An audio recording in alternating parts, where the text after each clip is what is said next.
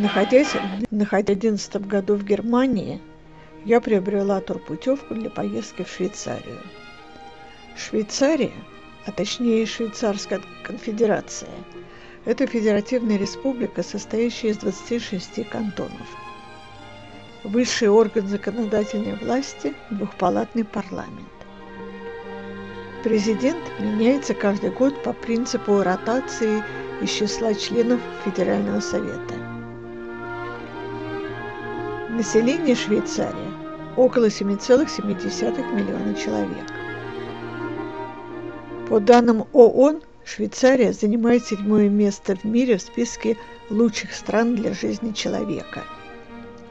Национальными языками являются немецкий, французский, итальянский и ретро-романский, производный от латинского. Швейцария имеет политический и военный нейтралитет. Страна знаменита своими банками, часами, сыром и шоколадом, а также красивейшими ландшафтами и прекрасным климатом, что привлекает в эту страну множество туристов.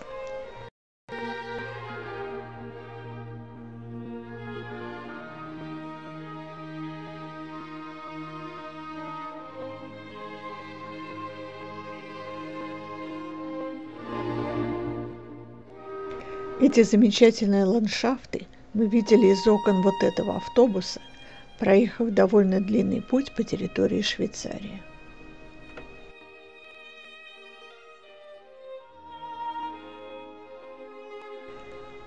Нас сопровождал один из лучших гидов русскоязычной Германии Юрий Лурье.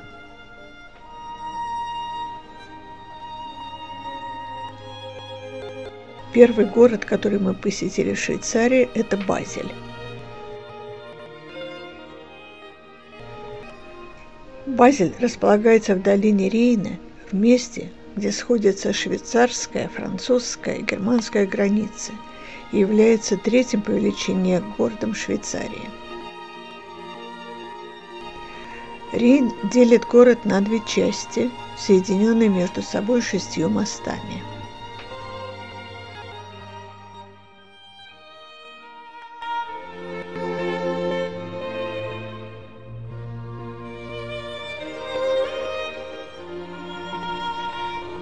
IV века и вплоть до XVI века город являлся римским фортом, а в 1501 году он присоединяется к Швейцарской конфедерации.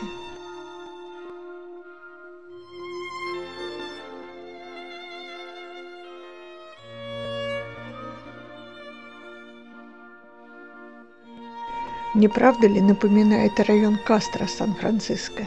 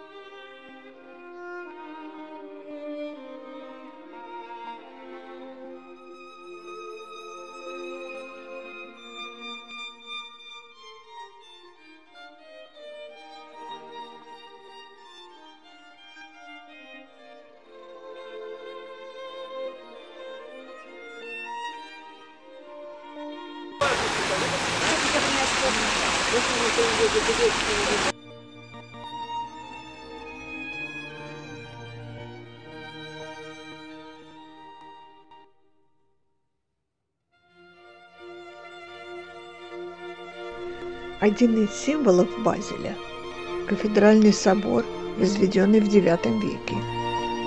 Стены собора построены из красного песчаника и увенчаны крышей из цветной черепицы и двумя башнями. Над центральным порталом изображен император Генрих II, основатель собора. Рядом с ним императрица Кунигунда.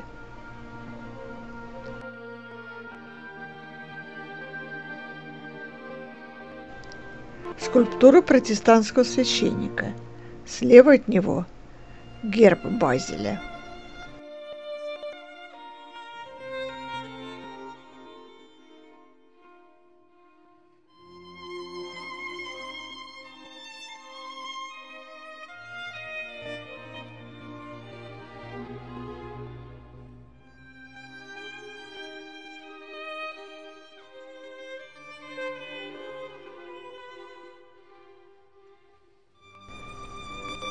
В здании бывшей франкисканской церкви сейчас находится исторический музей.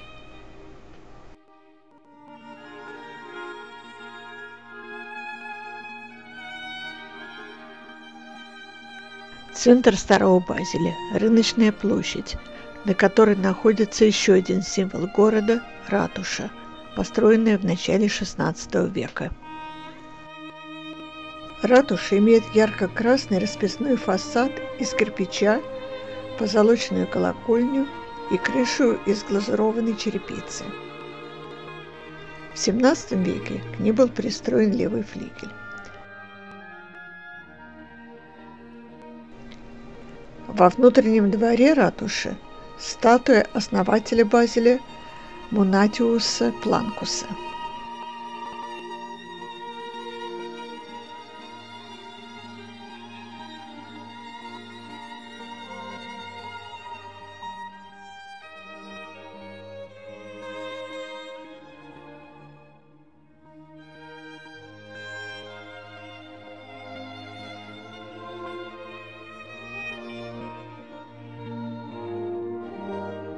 В этот же день, насмотревшись из окна автобуса на великолепные пейзажи, мы попали на берег Женевского озера в город Лозанна. Население Лозанны около 117 тысяч человек. Высота города над уровнем моря в некоторых его частях достигает 900 метров. Лозанна является культурным и экономическим центром Швейцарии – вторым после Женевы. Это небольшой чудесный город, где старина гармонично сочетается с современностью. В Лозанне находится популярный в Европе университет.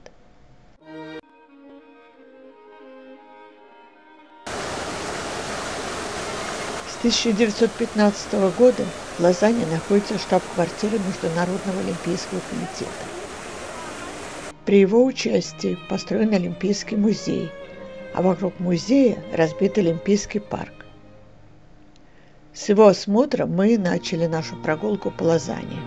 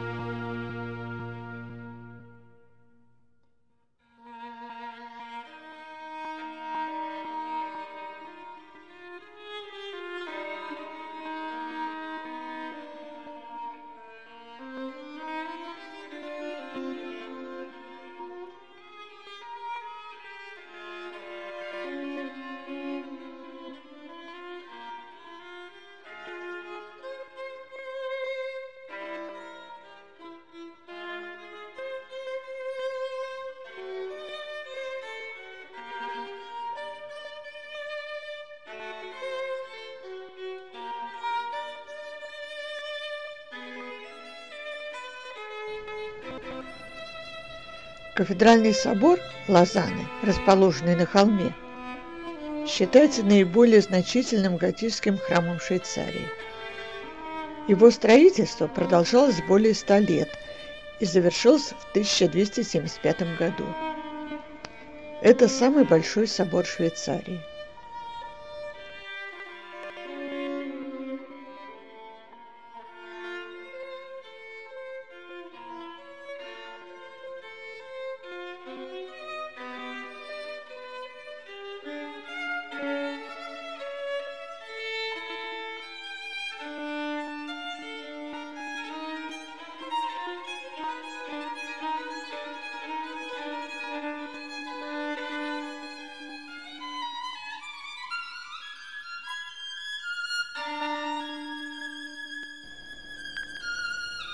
Площадке перед собором открывается отличный вид на город. В хорошую погоду можно видеть Женевское озеро и белоснежные вершины Альп на горизонте.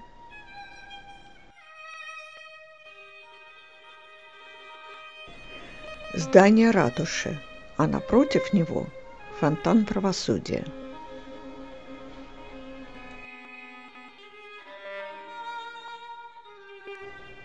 Перед нами одно из зданий университета Лозанны. Это здание построено в XIX веке русским графом Рюмином. После смерти последнего представителя семейства Бестужевых-Рюминых дворец перешел во владение государством. Дворец построен в неоренессанском стиле и напоминает роскошное итальянское палаццо. Сейчас в нем располагается университетская библиотека и музей естествознания, котором хранится коллекция бабочек, собранная Владимиром Набоковым. Мы покидаем Лозанну и направляемся к отелю.